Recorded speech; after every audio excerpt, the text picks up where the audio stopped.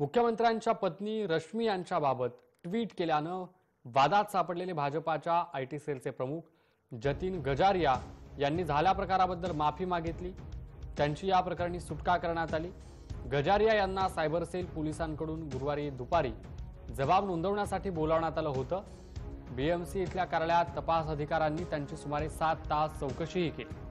त्यानंतर लेखी माफी सादर करत गजिरिया यांनी या प्रकरणी माफी मागितल्यानंतर हे प्रकरण मिटवलं. दरम्यान गजारिया यांच्यावर कारवाई करण्यासाठी मुंबई पोलिसांनी जितकी तातडीनं हालचाल केली तितकी सत्वर कारवाई भाजपाविरोधात असभ्य शेरेबाजी करणाऱ्यांविरोधात पोलीस का करत नाहीत असा सवाल भाजपा प्रदेश उपाध्यक्ष चित्रा वाघ यांनी उपस्थित केलेला आहे.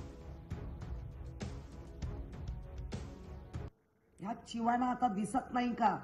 महिलांचा महाराष्ट्रात महिलांचं भारतीय जनता पार्टीच्या माध्यमातून अम, हनन केलं जात आहे त्यांना हिनवलं जात आहे मुळामध्ये हा गजरिया याने वहिनींचं नख तरी पाहिलं असेल का? इतकं असूनही अशा पद्धतीने त्यांच्यावर टीका केली जाते. याचा अर्थ भारतीय जनता पार्टीचे सर्व पदाधिकारी आय टी सेल हे महिलांचं हनन करण्यासाठी पुढे येत आहे लिखाणाला समर्थन नाहीच. पण जे लिहिलंय ते राज्याच्या उपमुख्यमंत्र्यांनी भर सभेत म्हटलेलं.